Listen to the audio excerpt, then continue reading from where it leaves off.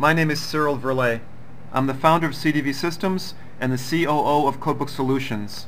This is a presentation describing Codebook and how it turbocharges your BIM and CAD data outside of BIM and CAD.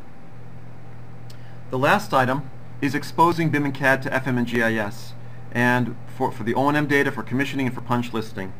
So within the Codebook project, because Codebook was designed specifically for locating the room and therefore locating all the assets in the room, we've been able to expose the campus, the building, the quadrant, the level, the room, and the asset to other products outside of Codebook, such as Maximo.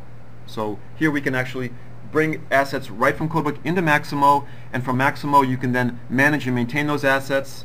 With ArcGIS, we can expose the values into an ArcGIS program as a geodatabase, and from there you can do all kinds of repair, replace, remove, edits, however you want to manage the data. And likewise, Codebook Mobile. This allows you access to the live Codebook project from a handheld device.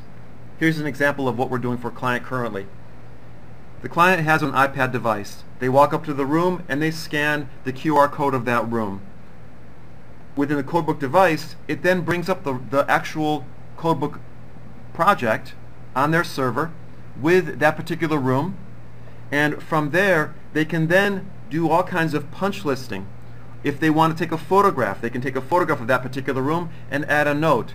There's a leaky tile, there's a damaged floor, there's a missing piece of equipment, whatever that value is, they can actually take a picture, they can make a note.